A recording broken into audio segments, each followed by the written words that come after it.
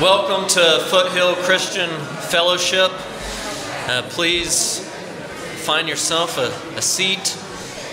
If you're outside, why are you outside?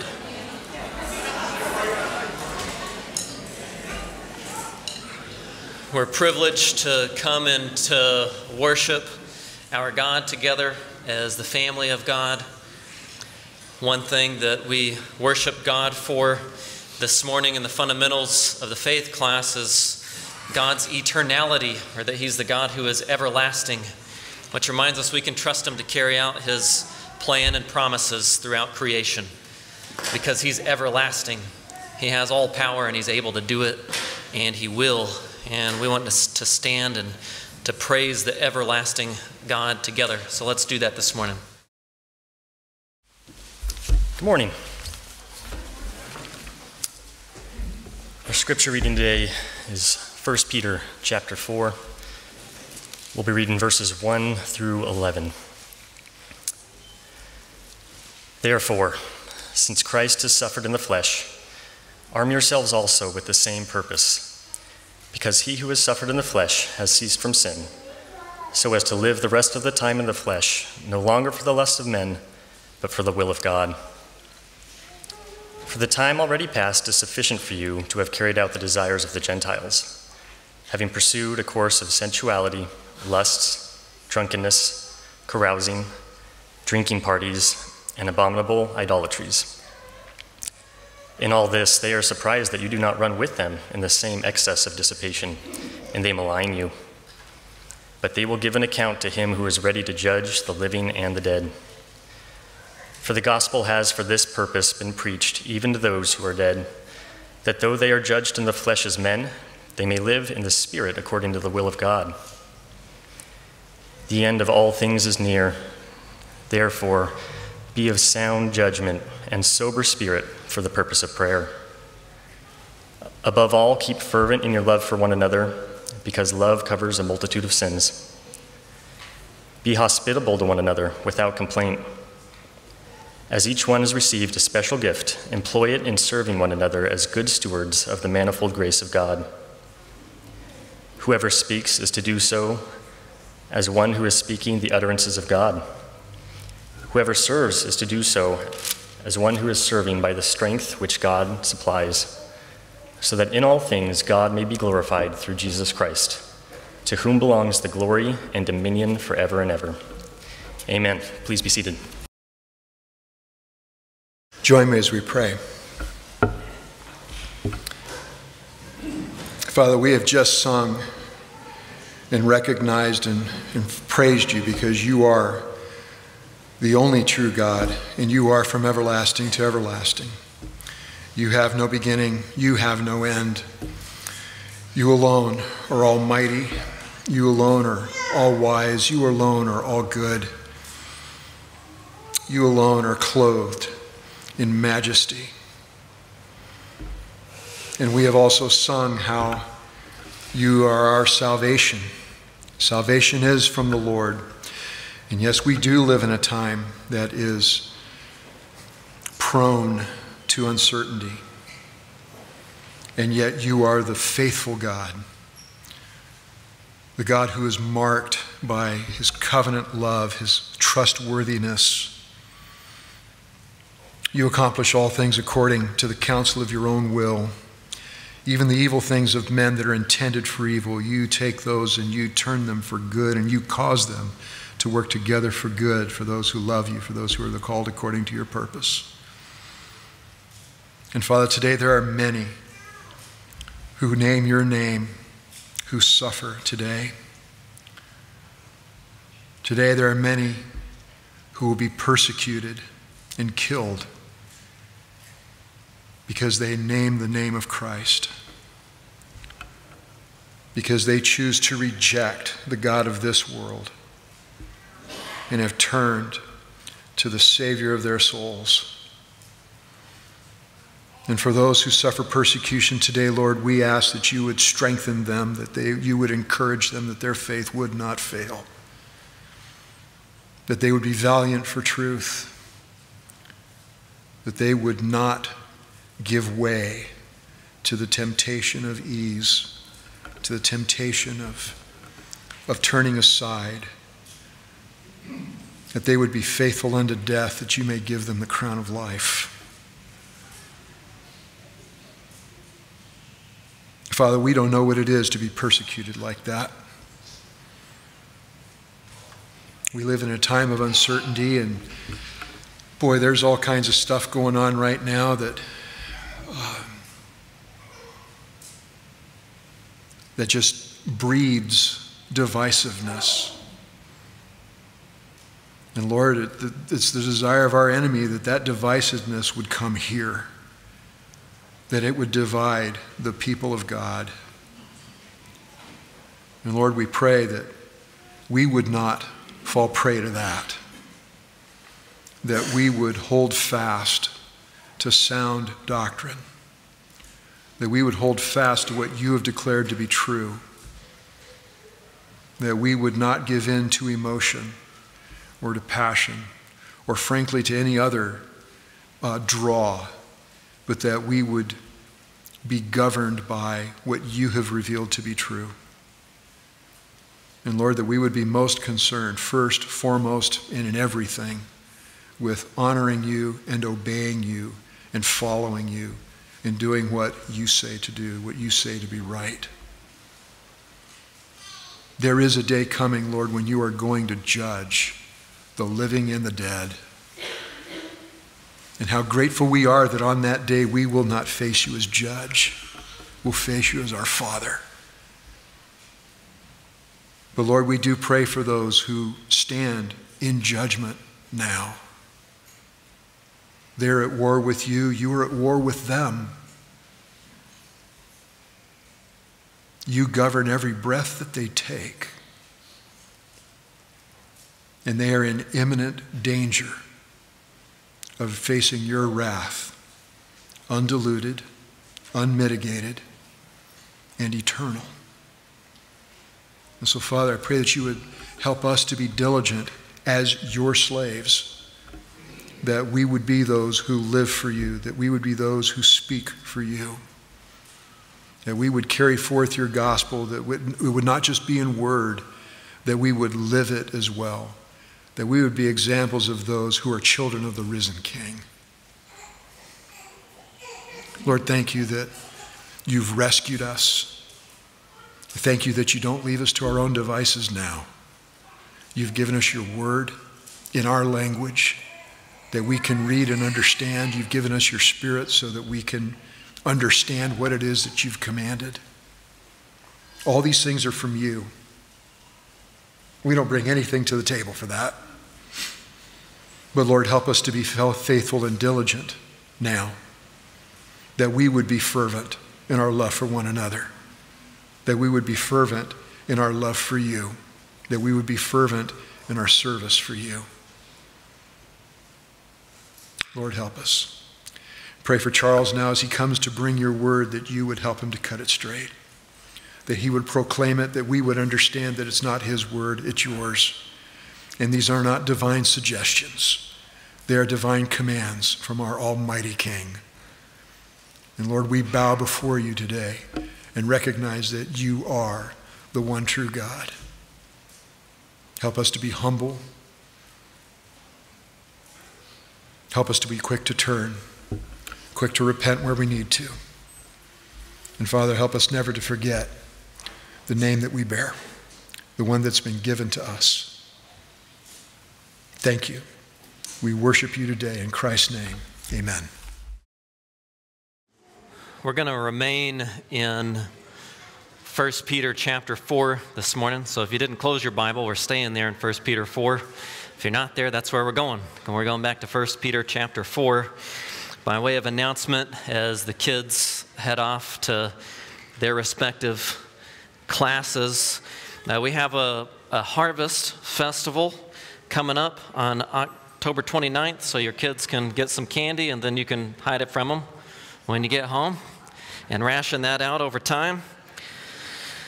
Uh, and try to explain why a large amount of it's in the trash later. How do they always find that? Anyways. Uh, also, uh, thank you for sending in some uh, deacon nominations to the office, uh, helping us elders and considering men that could help us in our ministry of uh, ministering to you and for caring for Jesus' sheep. I also wanted to make you men aware that the men's morning study is continuing, and the next book that you're going into is a study of 1 Kings 1 through 11, Proverbs, and Ecclesiastes. You can sign up for that in the foyer. If you want to be a part of that, if you have any questions, you can contact the office, which is open Tuesday through Friday, 9 to 5.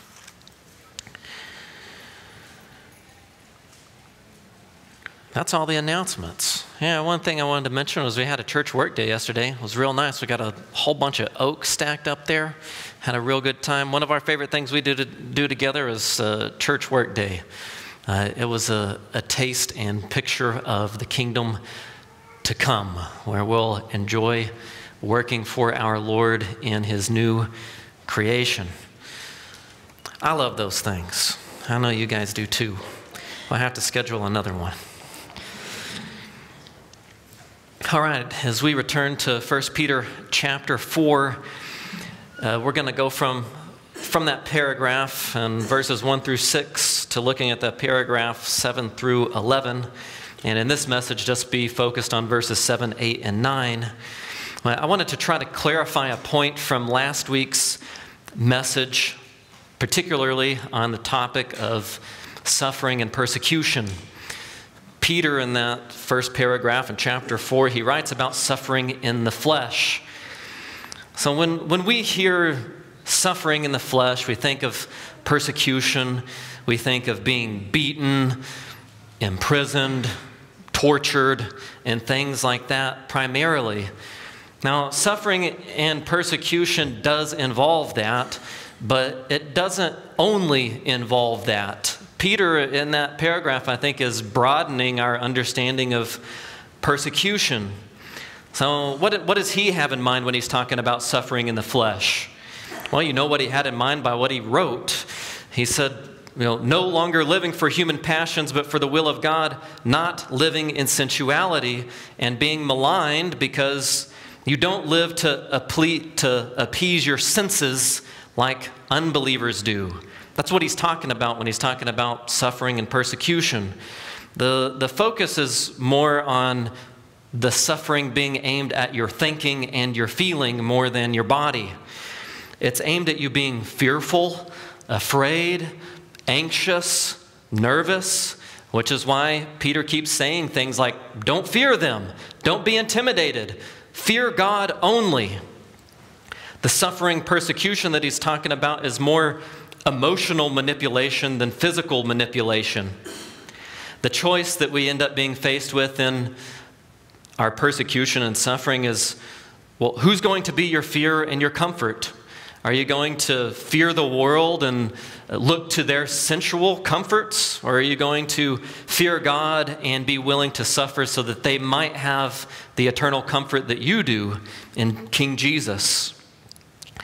The enemy's persecution plan isn't always to harm you physically, but to make you comfortable so that you'll just stop talking about God's kingdom and proclaiming it and just enjoying the stuff of the world. You might remember how Satan tempted our own Lord with the kingdoms of the world and their glory, with the lust of the flesh the desires of the eyes, and pride and status and possessions. The temptation was to have the crown without the cross, to have glory without suffering, to have comfort without difficult things like evangelistic conversations with people that make us uncomfortable, or to endure in one of those conversations where we just keep talking to people about the judgment of God until they say, What shall we do to be saved?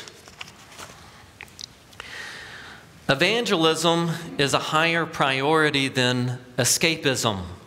And that's the temptation we're faced with to just escape it all somehow rather than to evangelize.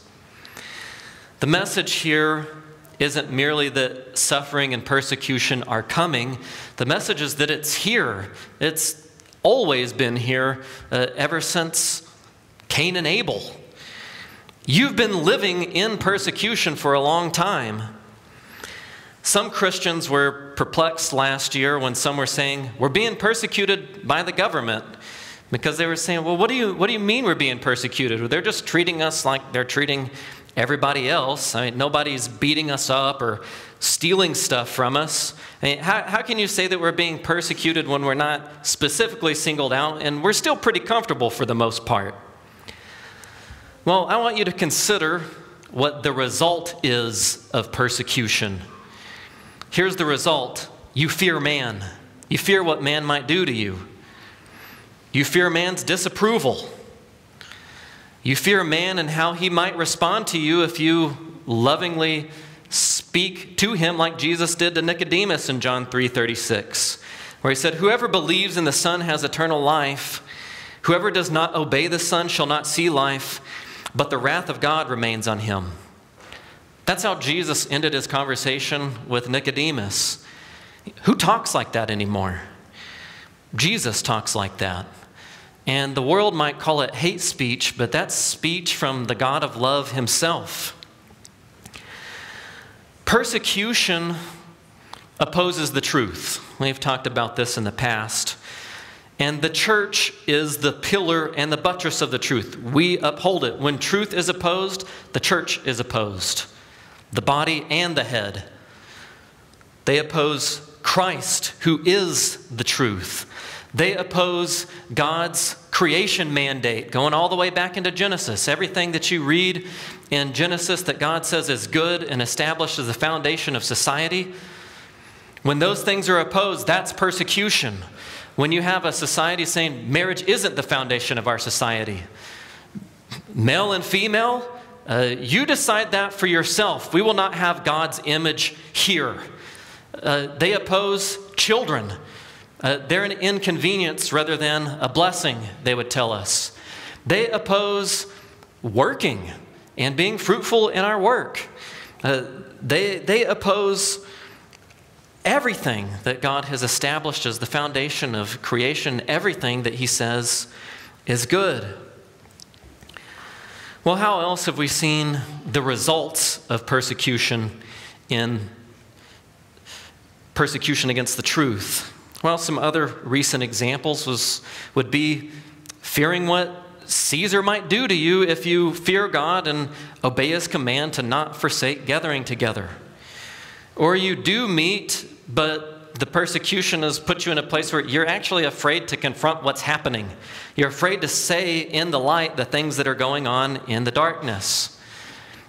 Persecution also happens by distorting the truth. Our persecutors have told us that love your neighbor means all sorts of things that forwards their will rather than God's will. But we know that part of the love your neighbor laws, which God has written on the heart of every man, is you shall not lie. Because lies harm people. And we love our neighbor when we expose lies. And lies not just in concerns to the gospel, but lies in concern to any just cause.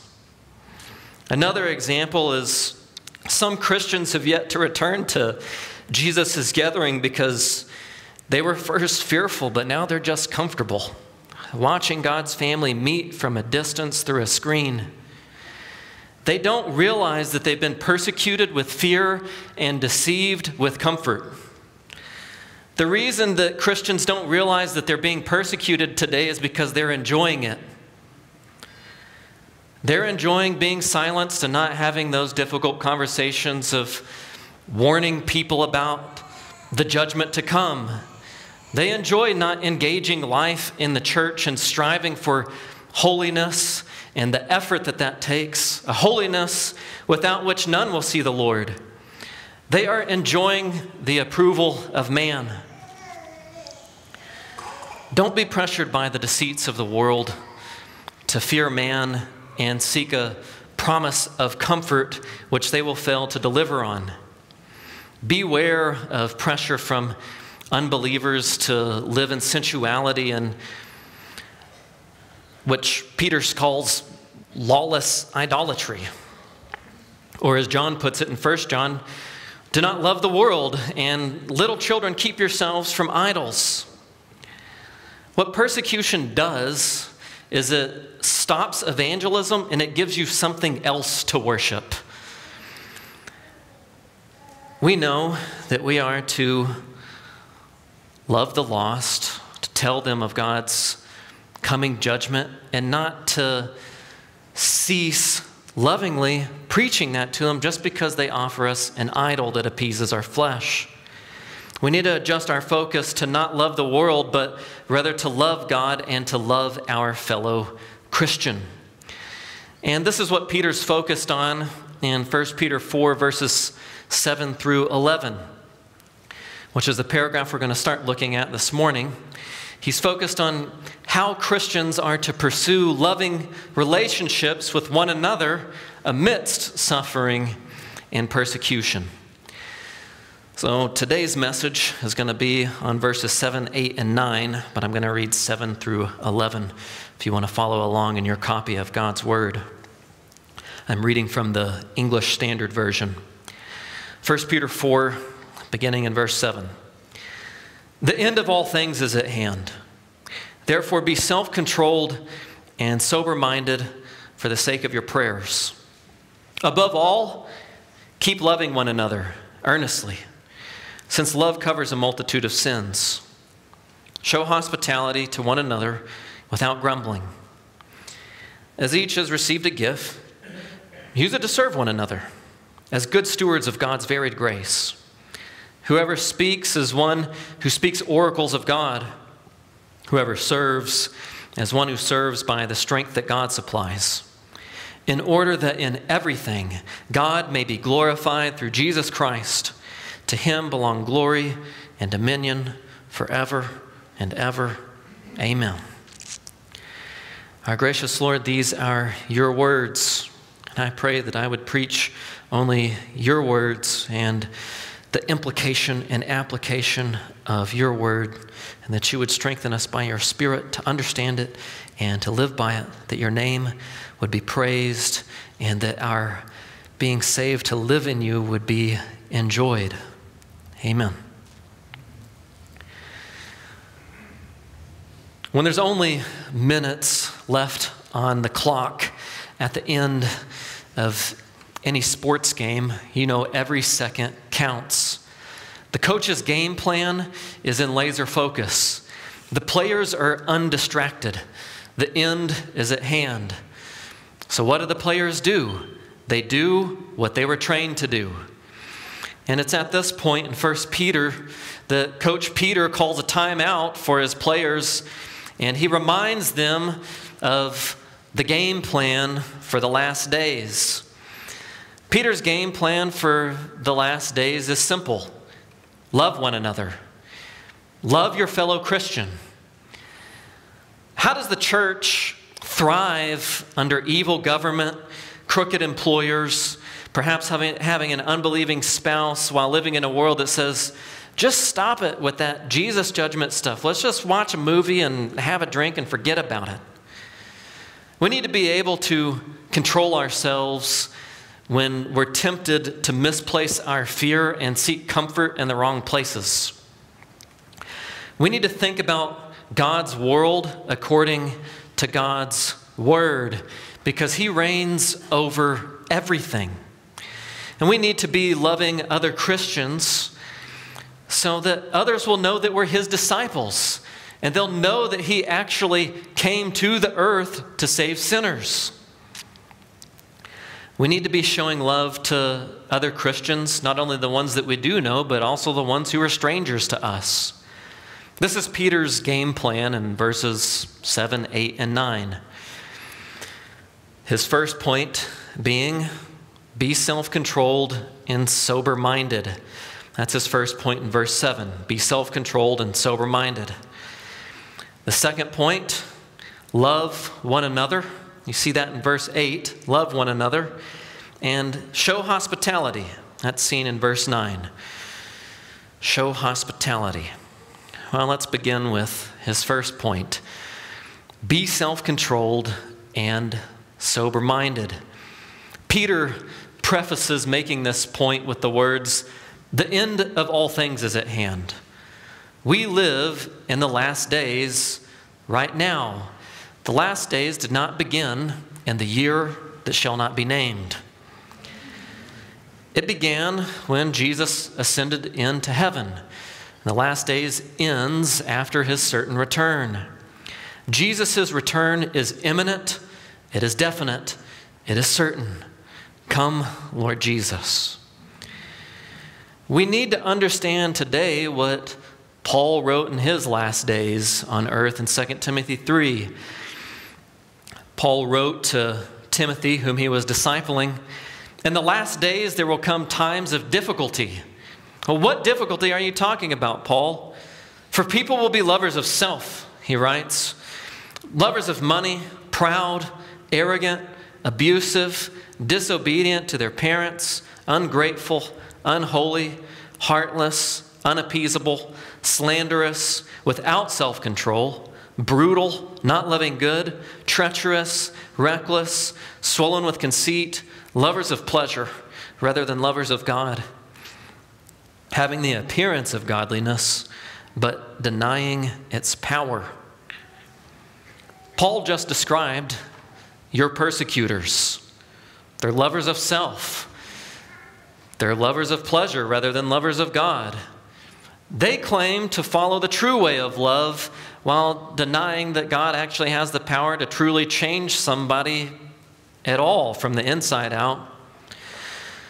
And our persecutors try to make us fear living differently than them. They try to make us fear confronting their sin and calling them to repentance. And they mean such, such persecution for evil, but God means it for good. And this is the good thing that He means it for to test our faith, to purify it, to grow us in holiness. Well, with the end of all things at hand, as was true and when Peter's letter was written, it was much like our day. People were tested by absolutely everything. Everything was irritating. What the government was doing, what was going on with the economy, what was happening with their house, with their family, with other believers, everything was irritating to everybody except those who had their minds set on Jesus Christ. Our mind is to be on God's goal. God's goal in His creation is to restore His people and His land under His reign and rest forever for His own glory. And while all of creation is moving toward its goal of future glory, God is purifying your faith through all kinds of trials, that it may be found to result in praise and glory and honor at the revelation of Jesus Christ. God is making us holy. And he's reminding us of our certain hope. When Peter preaches eschatology, that's the study of last things, his two key words are hope and holiness. Eschatology isn't primarily focused on figuring out who the Antichrist is, or what the mark of the beast is, or creating this special group within the group at church that's absorbed in figuring out future events yet to be revealed. Eschatology is not merely concerned with the future, but it's also concerned with the present. It is concerned with the now. Eschatology is for now. Listen to how Peter makes this point in chapter 1, verse 13. Therefore, preparing your minds for action and being sober minded, set your hope fully on the grace that will be brought to you at the revelation of Jesus Christ. Eschatology is for hope today because we know what Jesus is going to do tomorrow. And listen how he continues in verse 14. As obedient children, do not be conformed to the passions of your former ignorance but as he who called you is holy, you also be holy in all your conduct, since it is written, You shall be holy, for I am holy. Eschatology is for holiness today. The holiness of worshiping God's majestic holiness, that there's none like him, but also worshiping God for his morality, which he calls us to live in and to image in the world. And we do that by beholding Christ. And as we behold Christ, we become holy like him. The application of eschatology in the scriptures is always hope and holiness in Jesus. It's not hope that people will see how smart and studied and well read you are in eschatology, but it's, it's a hope that rejoices with other believers at the thought of the revelation of Jesus that is to come. It's not a holiness that's merely in talk, but it's a holiness that's seen in our relationships with other believers, in our marriages, in our parenting, in how we treat one another in the church. Peter's eschatology is very practical, and it recognizes that the goal of all things is at hand. That's what he means by the word end.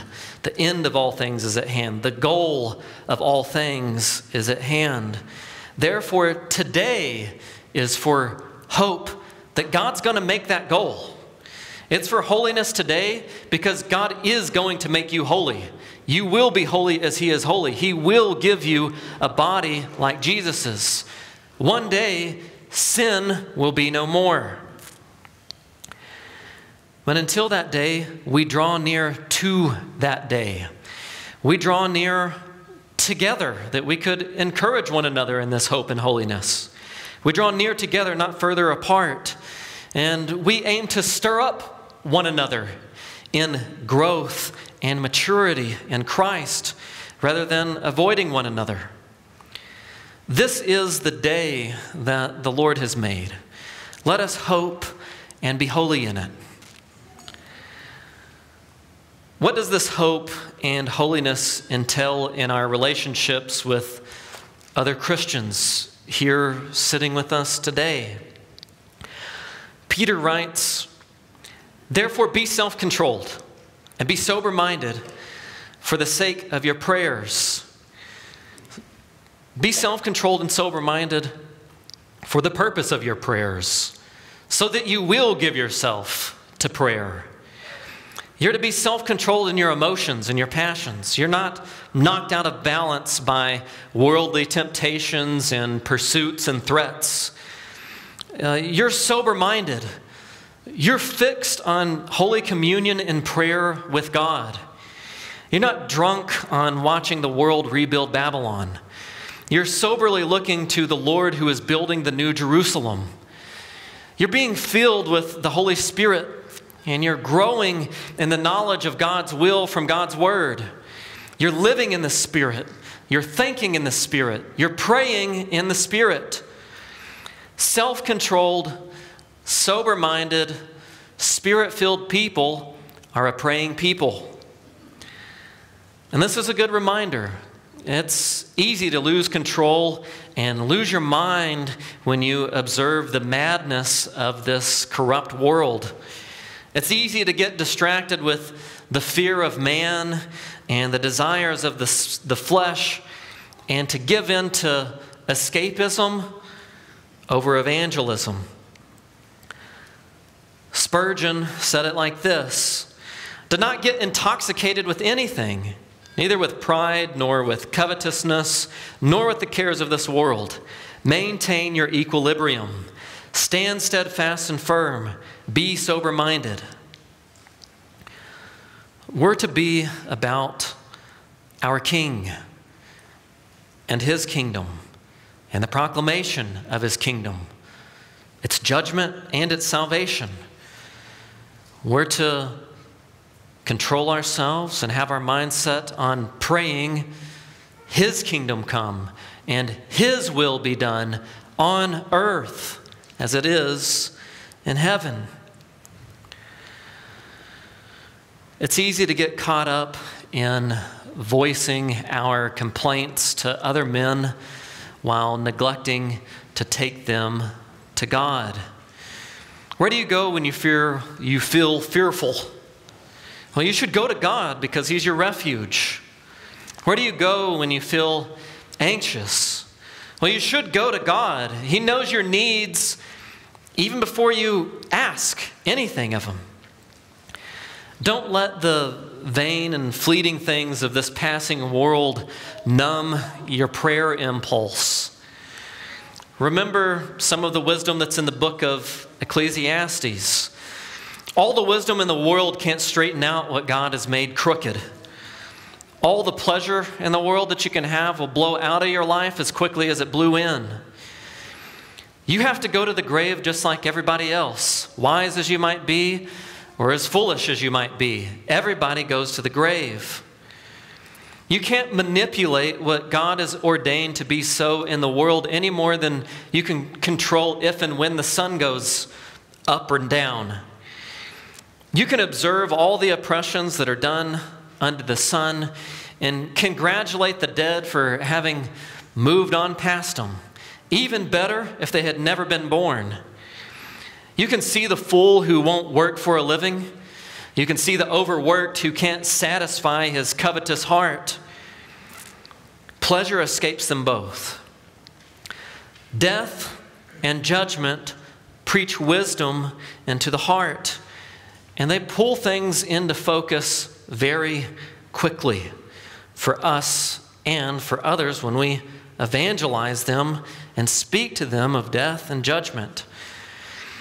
Death reminds you that you're not in control. Judgment reminds you to fear God, that is, to seek His kingdom, and to keep His commands, that is, seek His righteousness. As self controlled, sober minded people, we are to be a praying people, not distracted with the vanities of the world that are but a breath. Now we know that prayer is how we put on God's armor, but you can't enjoy God's armor without prayer.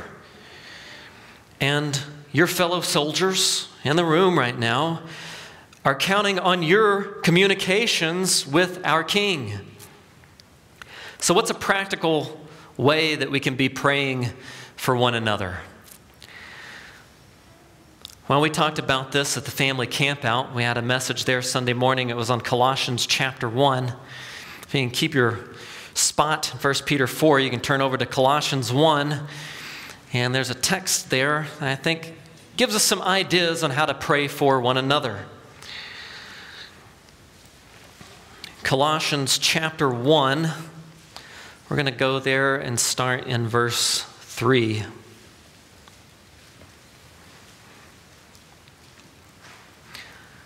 Colossians chapter 1, verse 3. Here's some ideas on how to pray for one another.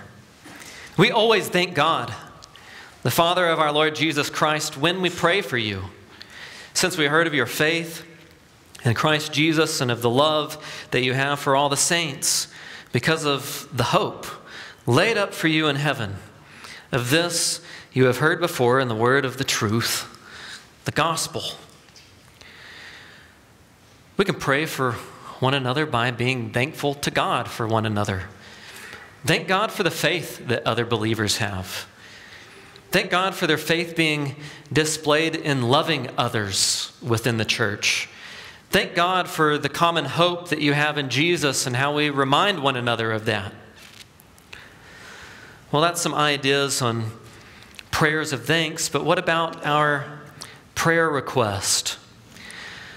Well, I think it's helpful to be reminded that we ought to spend more time putting our search inquiries into God rather than Google. God has better answers. You can waste a lot of time getting drunk on the intoxicating information of this world, but our confidence isn't in the things that we can learn on the internet. Our confidence is that if we ask anything according to His will, He hears us. And if we know that He hears us in whatever we ask, we know that we have the request that we have asked of Him. So, what sort of prayer requests should we have for one another? Look at Colossians 1, starting in verse 9. And so, from the day we heard, we have not ceased to pray for you, asking that you may be filled with the knowledge of his will and all spiritual wisdom and understanding, so as to walk in a manner worthy of the Lord, fully pleasing to him, bearing fruit in every good work, and increasing in the knowledge of God. So, what are our prayer requests for one another? Well, we pray to be filled with the knowledge of God. We need that to be able to honor God. Pray for wisdom for others, wisdom to skillfully live by that knowledge that we find in His Word. Pray for understanding that helps you to think through things in God's world according to God's Word, so that we can live fruitful lives to His glory as we increase in the knowledge of our Lord and Savior, Jesus Christ. So, to sum up those things, how do we pray for one another? We give thanks for faith, love, and hope. What sort of things do we pray for for one another? Knowledge, wisdom, understanding, so that God might be glorified through our lives. Clear headed, sober minded communication with God is high priority amidst the persecution that we are in today. Now we also have another priority, which is found back in 1 Peter chapter 4 in verse 8. The priority is love one another. So we're to be self controlled and sober minded praying people. And we're also to have the priority of loving one another, loving our fellow believer. Peter writes in 3 8, above all, keep loving one another earnestly since love covers a multitude of sins. Peter goes from how to talk to God to how to talk to God's family here.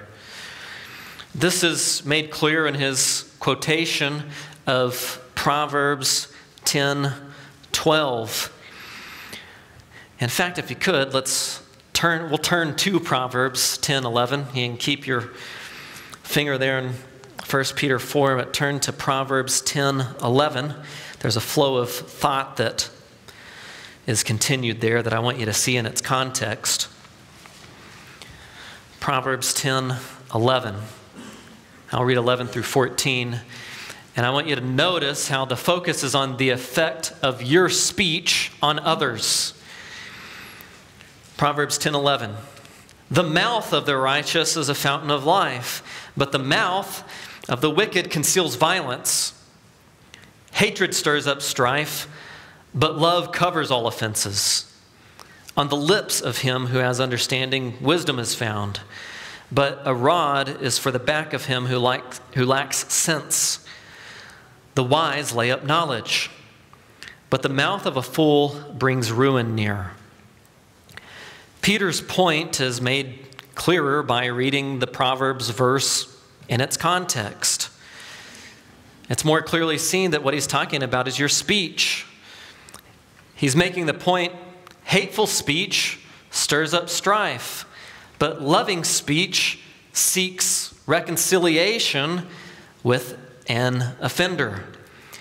The idea that he's communicating isn't that love doesn't deal with offenses, but love seeks to win a reconciled relationship through speaking with one another.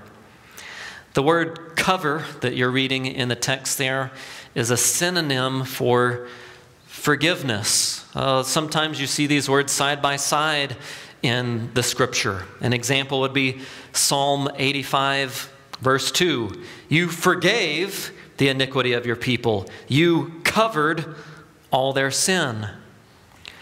Well, what is forgiveness? What is this covering forgiveness that is being talked about? A simple definition for forgiveness is this forgiveness is a promise to pardon. Forgiveness is a promise to pardon. It, it sounds like this from Isaiah 43 25. I, I am he who blots out your transgressions for my own sake, and I will not remember your sins. There's the promise that God makes the promise to pardon. I will not remember your sins.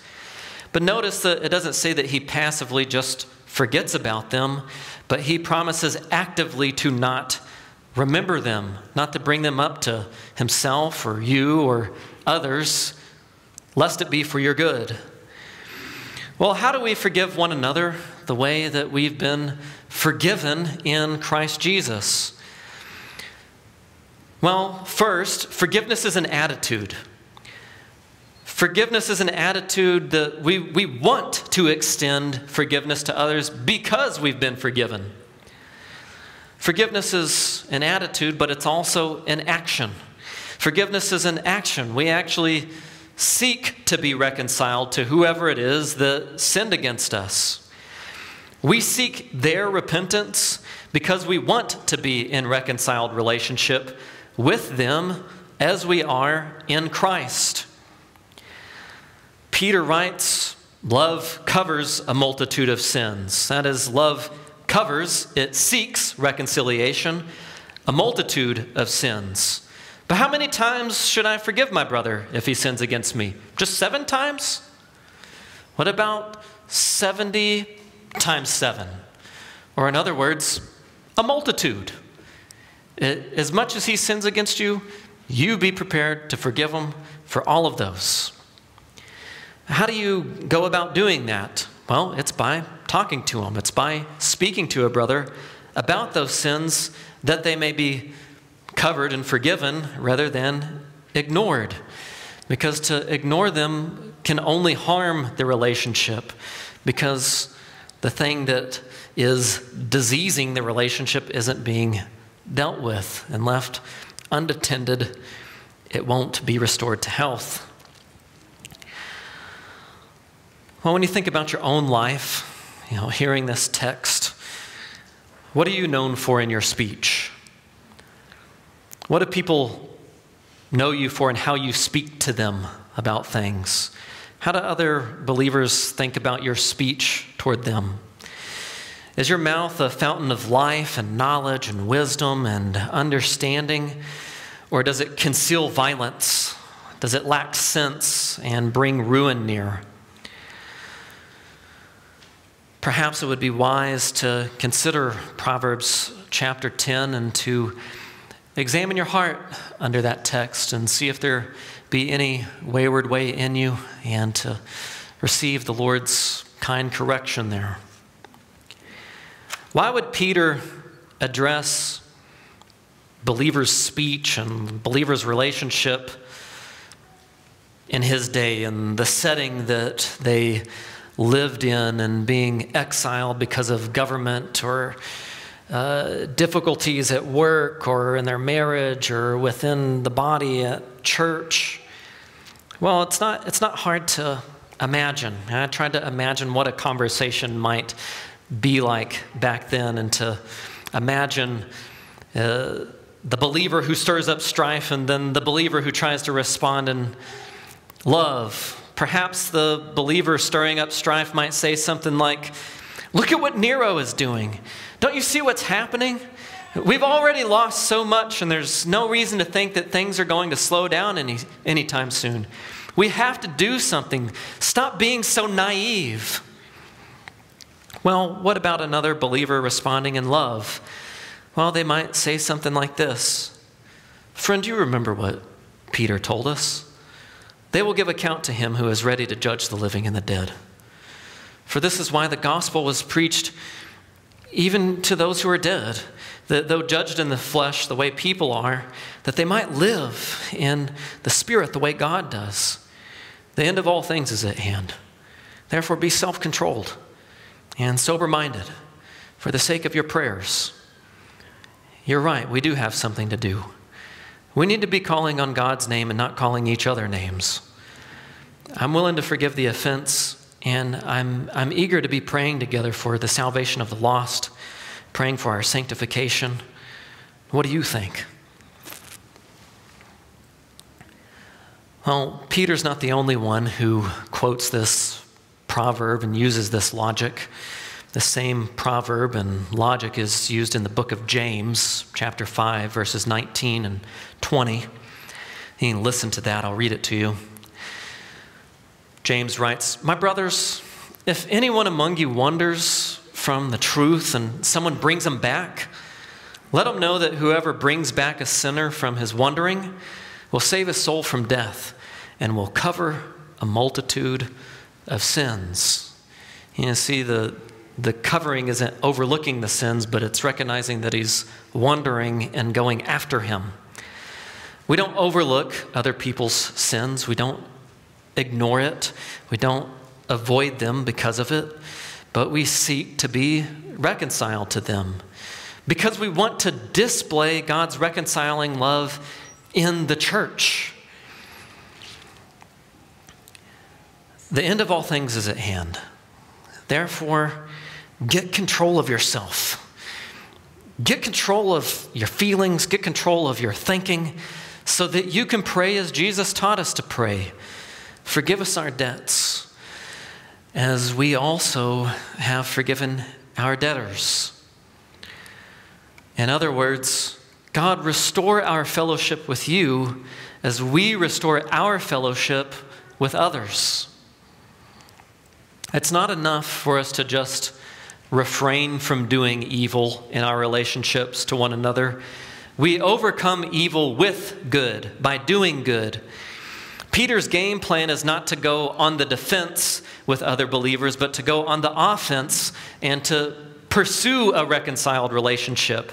That's what love does. And speaking on the topic of love, I think we're helped to consider how Paul rebuked the Corinthians for lacking Christ like love in 1 Corinthians 13. In 1 Corinthians 13, starting in verse 4, Paul writes Love is patient and kind. Love does not envy or boast. It is not arrogant or rude. It does not insist on its own way. It is not irritable or resentful. It does not rejoice at wrongdoing, but rejoices with the truth. Love bears all things, believes all things, hopes all things, endures all things. Paul is teaching us that love is patient when it's wronged. It doesn't retaliate, but it shows kindness.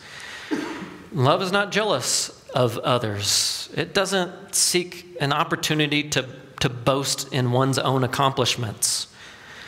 Love is not puffed up with a desire to be recognized or thanked by anyone. It does not seek its own preferences.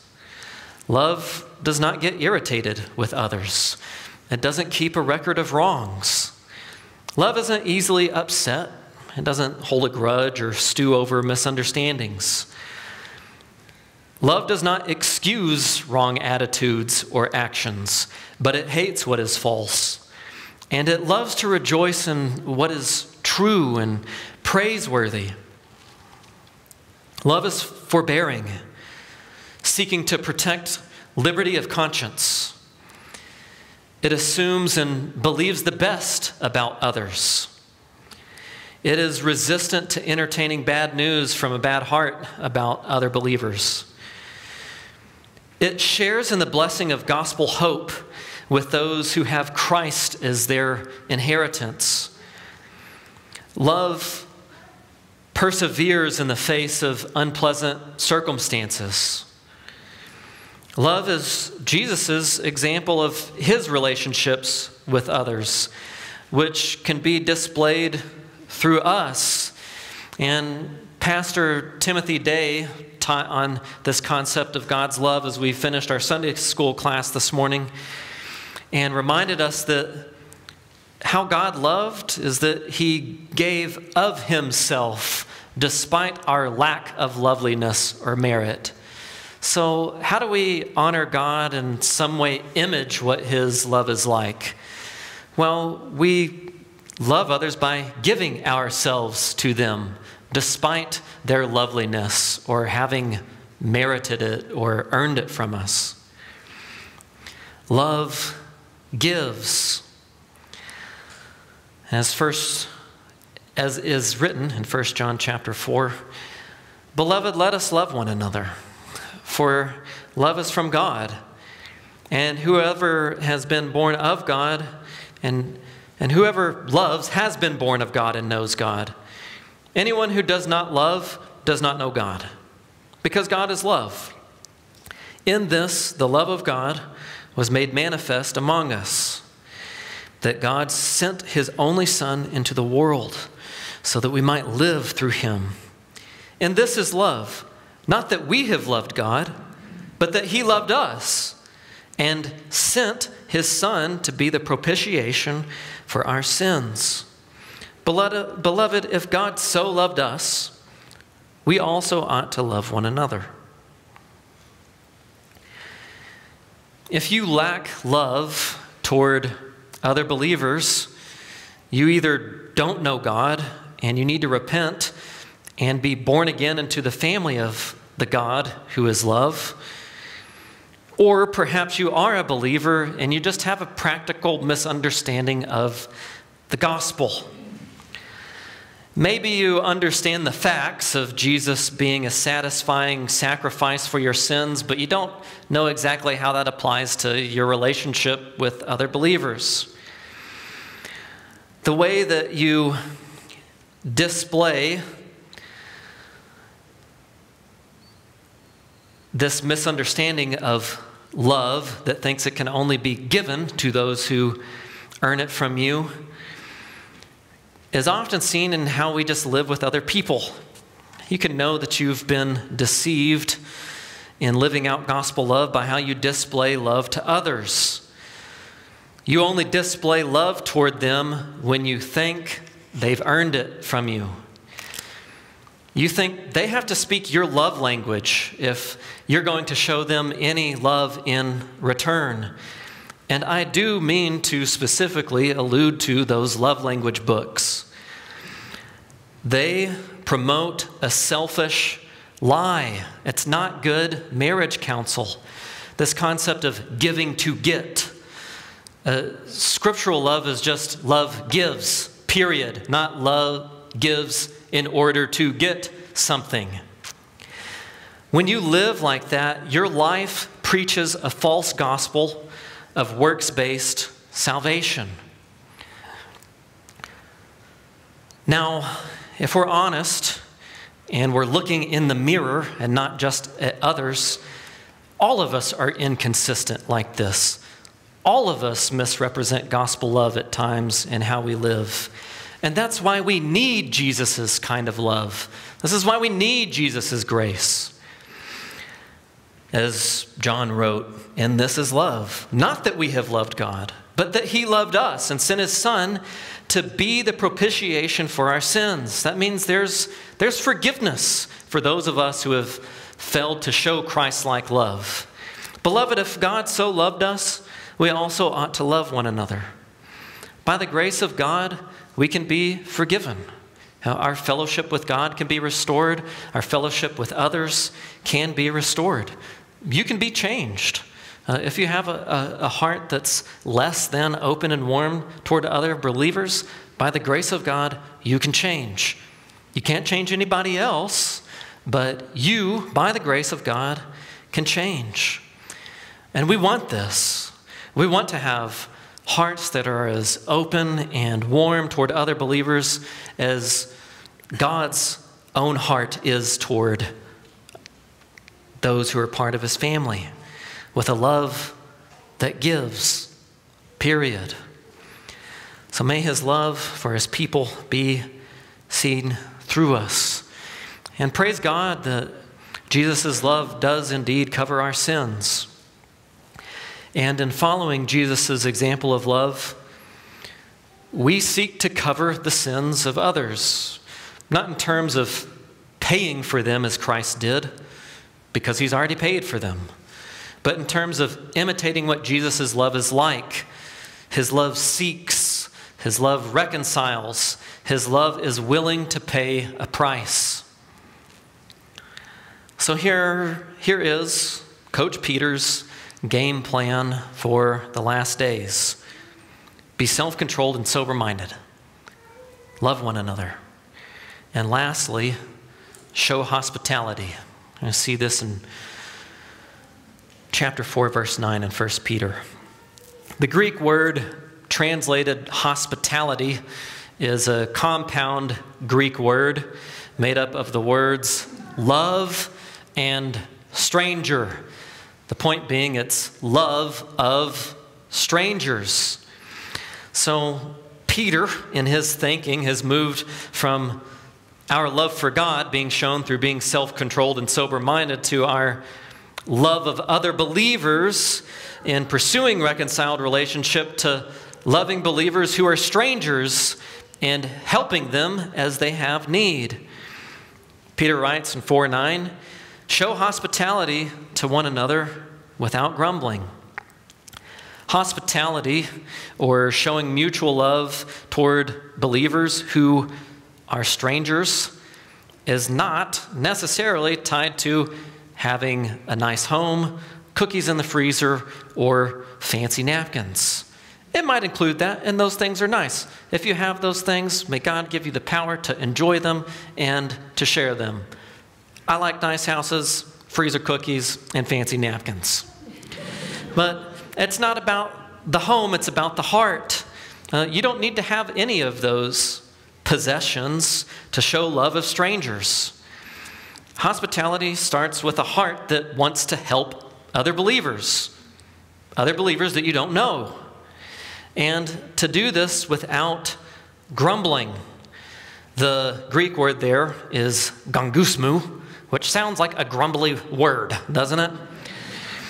Uh, it means behind the scenes talk.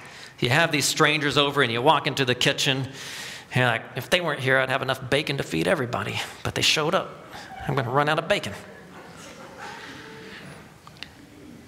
But you're missing seeing it correctly. It's not an inconvenience, it's an opportunity to serve Jesus. They're part of His body. So we do it with no low tones, no grumbles, mumbles, sighs, or complaints, but with joy and excitement, kind of like Abraham and Sarah in Genesis 18 when they were hospitable to angels unaware. And Abraham said, Sarah, quick, calves, cakes. We've got company with a capital C. And in this case, it was even the pre incarnate Christ himself, the angel or messenger of Yahweh, which they would realize later. Humble hospitality is giving help. And it's giving help with a sort of self forgetfulness. You're not thinking about yourself, you're just so focused on them, you just forgot about you. And it also comes with a happiness to give just as freely as you received. what, what do you have that you didn't receive.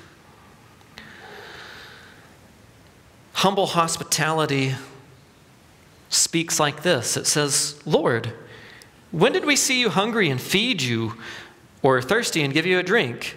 And when did we see you a stranger and welcome you, or naked and clothe you? And when did we see you sick or in prison and visit you? And when did you come up from the Bay Area to stay with us and move to Meadow Vista? And the king will answer them Truly I say to you, as you did it to one of the least of these, my brothers, you did it to me. Why was hospitality important in Peter's day? Well, travel was dangerous during this time. Sure, inns were available in the Roman world, but they were often associated with immoral behavior.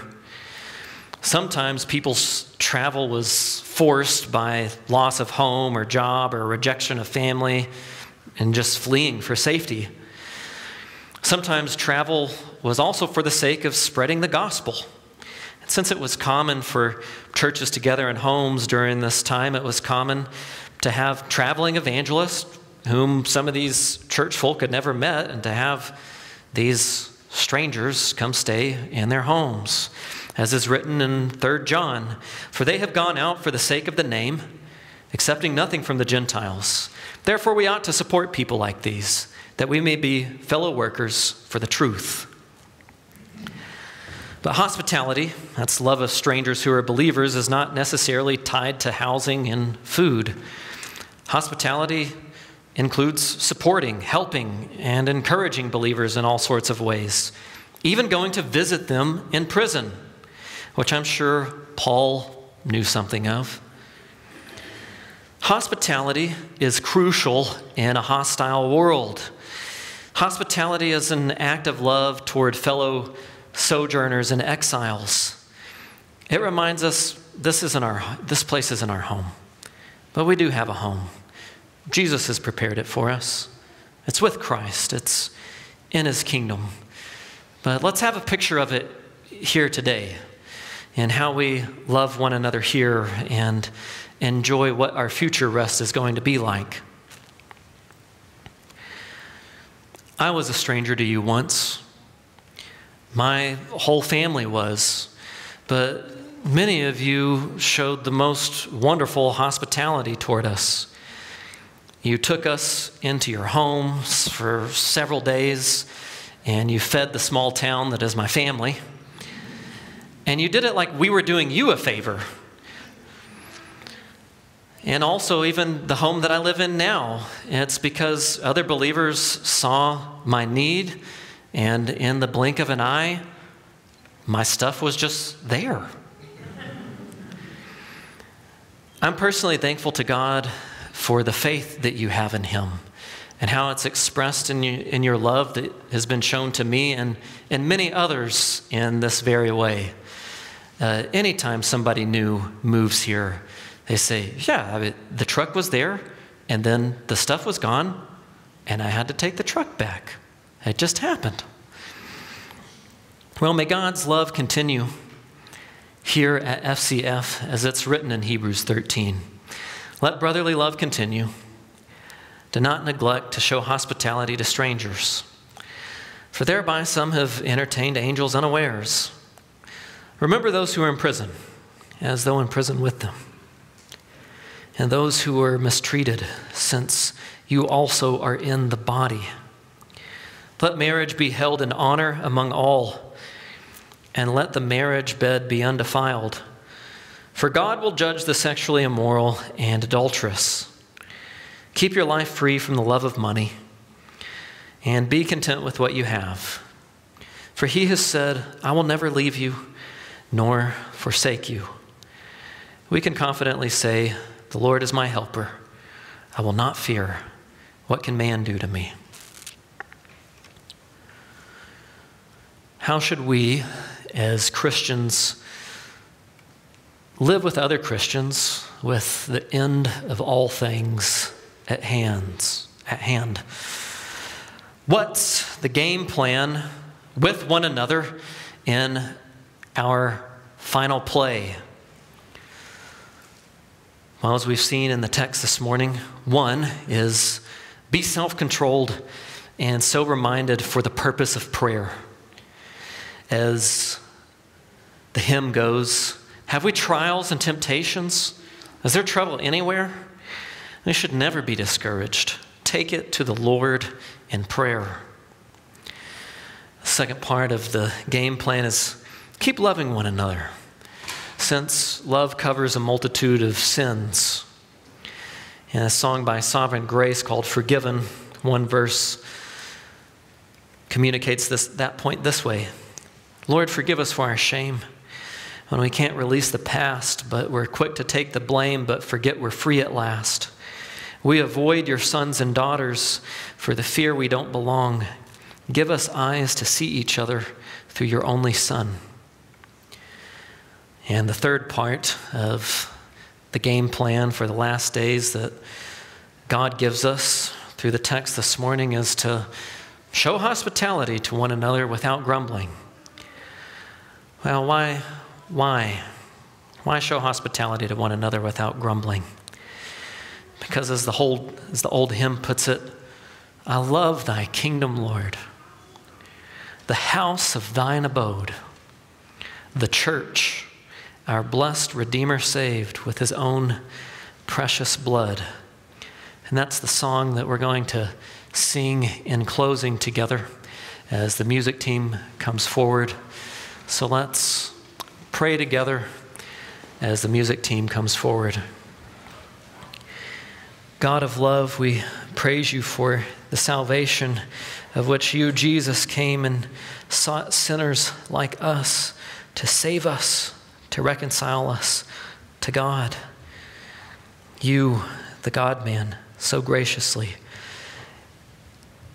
our King, our prophet, our priest, we praise you for your work of being our substitute righteousness, our substitute sin bearer, even being our resurrection and raising us to a new way of life that we will know in full one day, but we know it in part today. And we pray that that love would be seen, even if it be dimly, in this church body at Foothill Christian Fellowship today. May we humbly love one another as you have loved us and show hospitality even to believers who are new to us, believers that we've yet to meet. May your love for your people be seen through us so that your name would be praised and glorified and enjoyed. Amen. Our benediction is. You can't hear me. All right, there I am. Our benediction is found in the last words of Hebrews 13. So Jesus also suffered outside the gate in order to sanctify the people through his own blood. Therefore, let us go to him outside the camp and bear the reproach he endured. For here we have no lasting city, but we seek the city that is to come. Through him, then, let us continually offer up a sacrifice of praise to God. That is the fruit of lips that acknowledge his name.